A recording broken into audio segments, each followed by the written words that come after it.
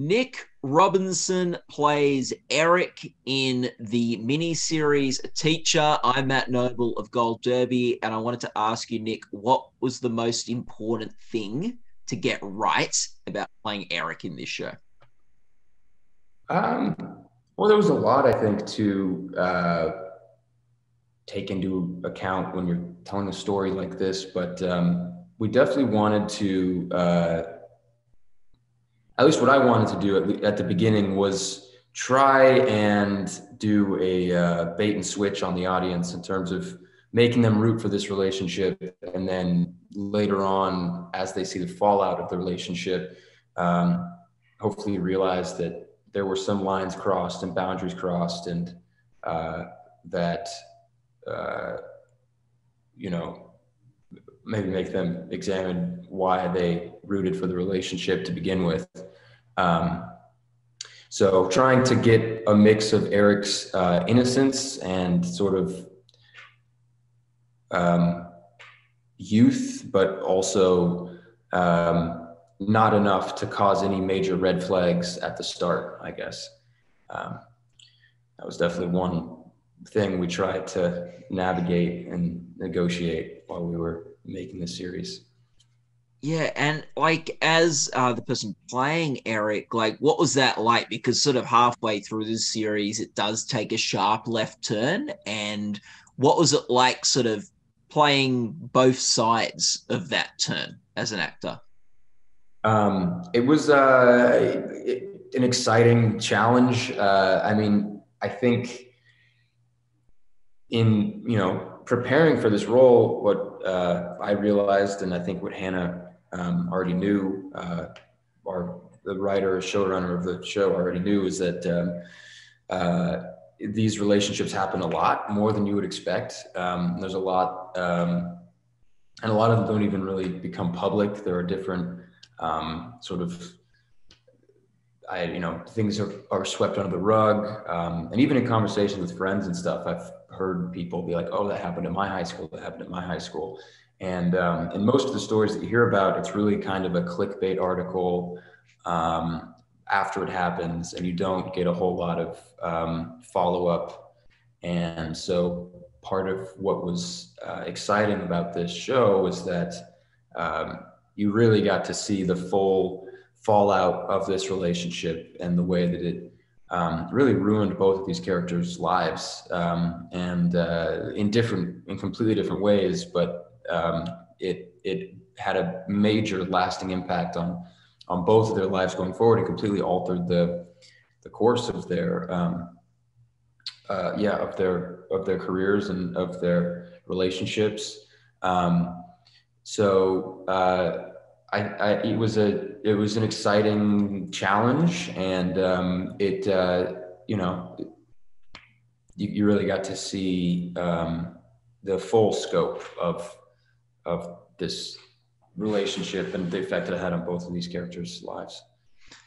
Yeah, you often like uh, it's a very different sort of story of abuse than what we're used to seeing on on television or film in terms of the way it's told, but also in terms of the nature of the relationship, where it's sort of um, uh, female is in the position of power in this and it's it's a male. What did you learn about sort of male uh, victimhood or just um, more generally sort of abuse and grooming that you weren't aware of before um, delving into this character. Yeah i, I learned a lot. Um, there was you know this relationship uh, it's it's you know at first glance it's kind of a gray area. People you know, have a lot of conflicting opinions in terms of, um, uh, you know, like right and wrong. And um, one thing that Hannah was really great about when we started was she just kind of gave me access to all of her research and all of her resources that she had um, made when she was in the writer's room actually writing it. And uh, uh, I got to speak with a, a psychologist who works a lot with uh, victims, male victims of childhood um, sexual trauma, and um, he was had a lot to say, and you know, oftentimes um, you know survivors don't uh, see themselves uh, or the relationship as um, as abusive until much later on after they become adults and kind of gain some hindsight and also find you know more normal relationships. Because when you're younger you don't have much to base it on. And so you think that that is just what a relationship is. Um, and so the, you know as they grew apart from the relationship they were able to contextualize it a bit more. Um, and i think that in eric's case it's a it's a similar story. He's um, uh, has really only had one relationship, high school relationship before this. So he's really emotionally unprepared to deal with um, a, an affair and a, uh, you know, Claire is married. She has a husband. She's much older. She's dubbed twice his age. And he's just completely unprepared for everything that comes uh, with that. Um, and I think that, you know, uh, these relationships are oftentimes fetishized a little bit. Um, and uh, a lot actually, and uh, so that's really all he was basing it on, and not really thinking about the actual consequences. Um, um, so does that answer? Yeah, I, yeah. There, there, there's, there's a lot you could look at, but um, yeah, but definitely speaking to the um, psychologist was uh, was super helpful. Yeah, and I think um, an interesting thing is that often, as, as you're sort of saying, because it's like sort of seems normal at the time, it's not till there's perspective and sort of hindsight that those people can see the situation they were in and that what was sort of damaging or unhealthy about it.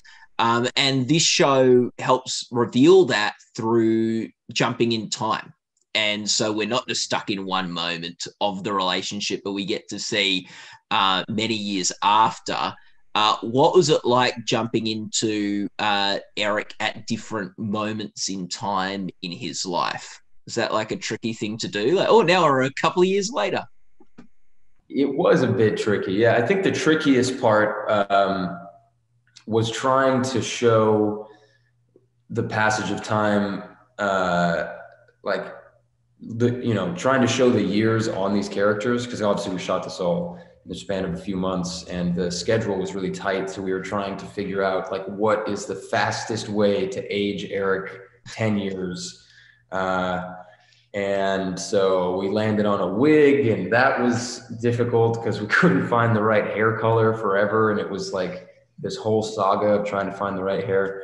Um, and so that was all you know and on top of that we were shooting some of these scenes that were you know 10 years in the future uh, on the same day as shooting something that was um, present day. So it was you know negotiating back and forth trying to figure out okay eric is in this headspace here and this headspace here um, was definitely a fun challenge but um, uh, yeah i mean that was part of the reason that this series i feel like uh, was um, had a lot to say is that it had a scope. And so you really got to see these characters in the before, the during, and the after um, uh, in a in-depth way.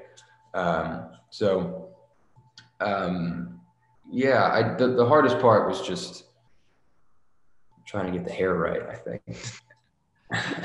what, what, what scene was sort of um, the most uh, interesting one for you to film? Um, well, there were a few. I mean, the uh,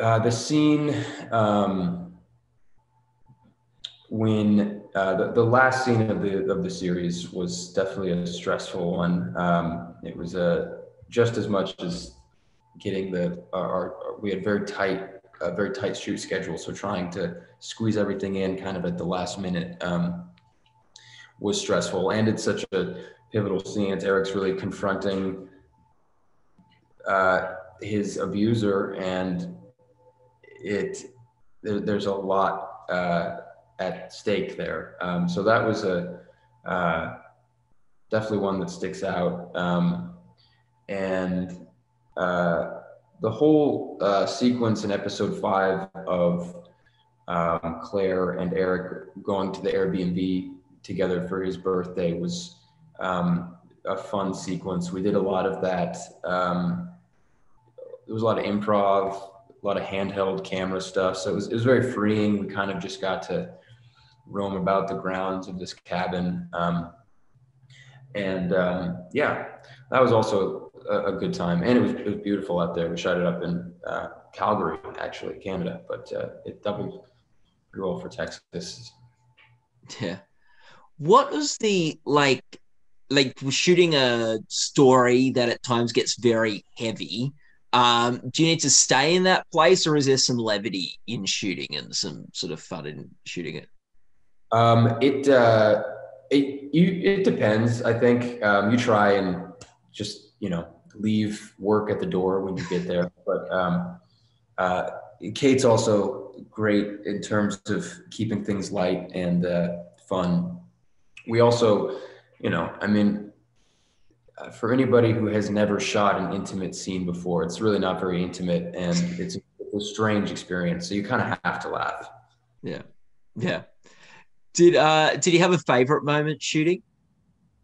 Um there were, yeah. I mean, I, I think that uh, doing that Airbnb sequence was was a lot of fun. We also shot a couple days in Austin, Texas, which was um, uh, was fun. Hannah is uh, had had lived there and had friends there, and it was sort of a whirlwind couple of days, but um, it was it was it was great. Had some had some really good barbecue. Went to Barton Springs. You know, it was a fun time.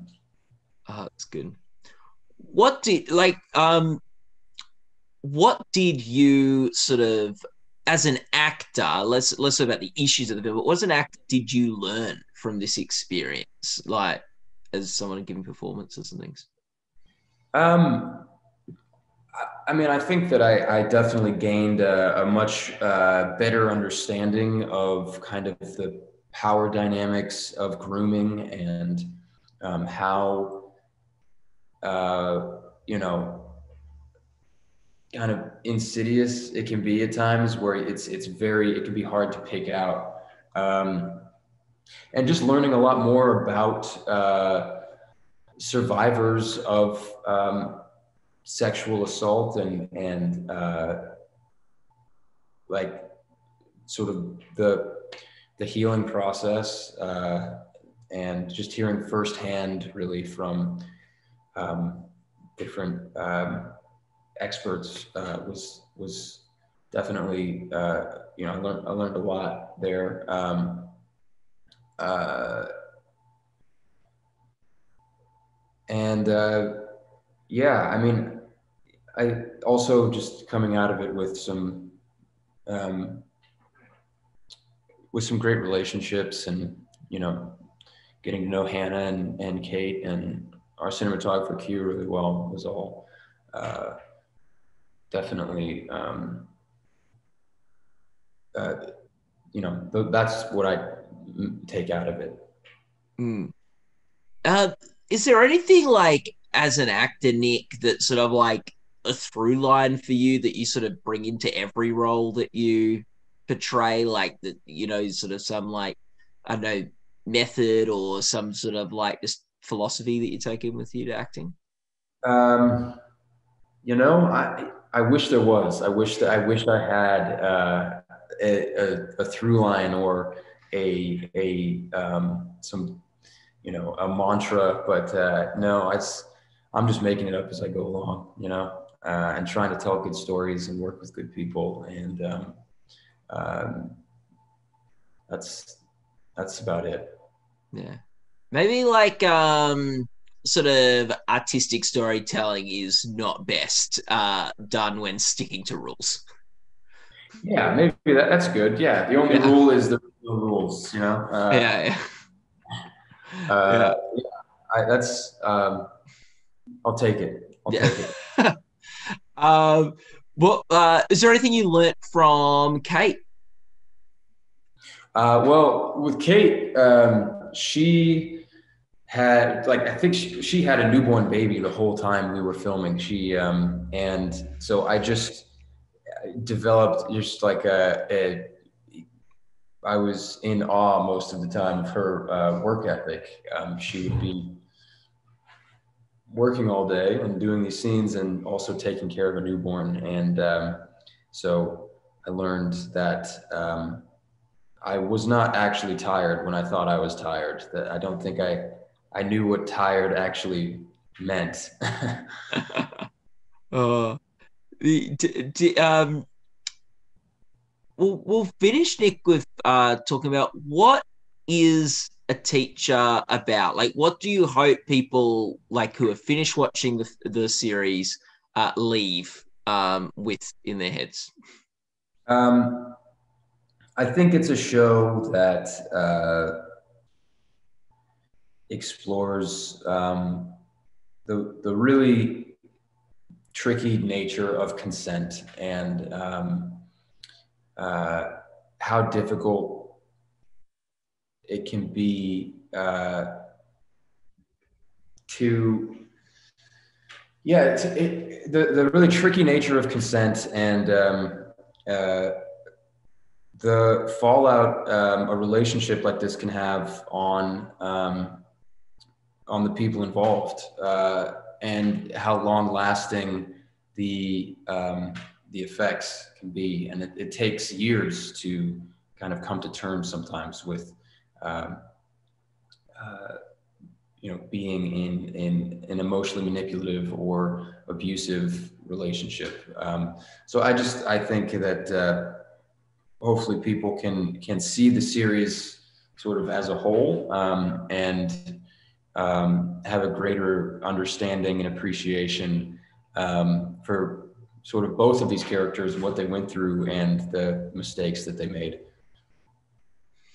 Yeah. Um, well, Nick, thanks so much for talking to us today. Yeah. People people watching this interview can go to goldderby.com where they can make their own awards predictions, uh, join the forums for some feisty discussion, or watch some other contender interviews. And Nick, all the best luck with the Emmy Awards that are coming up later this year. Thank you, Matt. I very, uh, very much appreciate that. And um, thanks for your time. No, thanks for yours too. Bye.